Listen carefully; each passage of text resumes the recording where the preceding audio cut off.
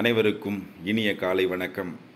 இன்றைக்கி நம்ம பார்க்க போகிறது பழைய பத்தாம் வகுப்பு புதிய பத்தாம் வகுப்பு மற்றும் புதிய பன்னிரெண்டாம் வகுப்பு புத்தகங்களோட தொகுப்புகள். இன்றைக்கி நம்ம பார்க்க போகிற பாடம் பத்தொன்பதாம் நூற்றாண்டில் சமூக சமய சீர்திருத்த இயக்கங்கள்.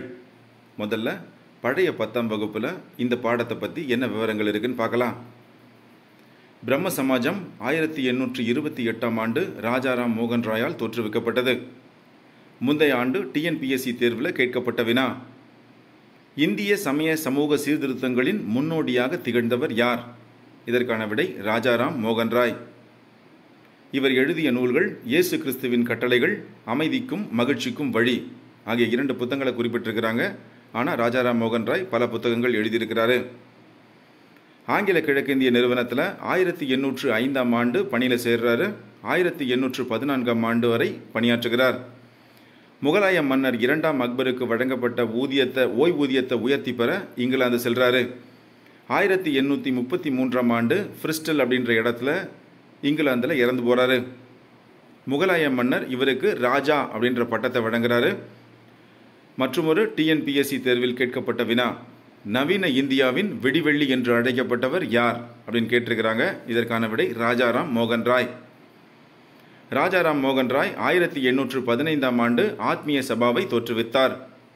ஆயிரத்தி எண்ணூற்று இருபத்தி எட்டாம் ஆண்டு முதல் இது பிரம்ம சமாஜமாக வளர்ந்தது. பிரம்ம சமாஜத்தோட கொள்கை ஒரே கடவுள்.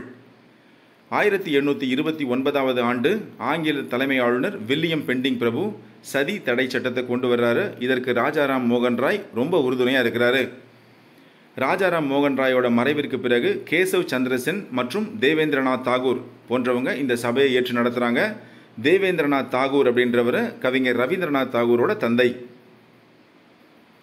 கேசவ சந்திரசென் முயற்சியினால் ஆயிரத்தி எண்ணூற்றி எழுபத்தி ரெண்டாவது ஆண்டு பலதார மணமுறை மற்றும் குழந்தைகள் திருமணம் போன்றவற்றை தடை செய்யும் சட்டம் இயற்றப்படுகிறது.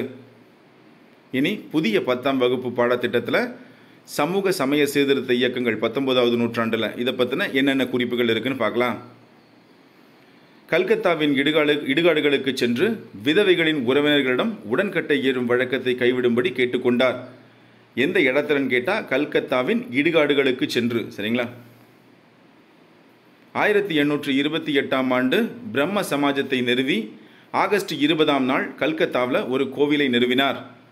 கவிஞர் ரவீந்திரநாத் தாகூரின் தந்தை தேவேந்திரநாத் தாகூர். இனி புதிய பன்னிரெண்டாம் வகுப்பு பாட புத்தகத்தில் இந்த பாடகத்தை பாடத்தை பற்றின முக்கியமான குறிப்புகள் என்ன இருக்குன்னு பார்க்கலாம். ஆயிரத்தி எழுநூற்றி எழுபத்தி இரண்டாம் ஆண்டு வங்காளத்தின் ஹூக்லி மாவட்டத்தில் ஒரு பாரம்பரியம் மிக்க பிராமணர் குடும்பத்தில் ராஜாராம் மோகன் ராய் பிறந்தார். ஆயிரத்தி எண்ணூற்று பதினைந்தாவது ஆண்டு ஆத்மீய சபையை தோற்றுவிக்கிறார். ஆத்மீய சபையின் பணியை மகரிஷி திபேந்திரநாத் தாகூர் மேற்கொண்டார். ரவீந்திரநாத் தாகூர் தந்தையோட தந்தையோட பழைய புதிய புத்தகத்தில் பெயர் வந்து தேவேந்திரநாத் தாகூர்னு இருக்குது. ஆனால் பன்னிரெண்டாவது புத்தகத்தில் திபேந்திரநாத் தாகூர்னு கொடுத்துருக்குறாங்க.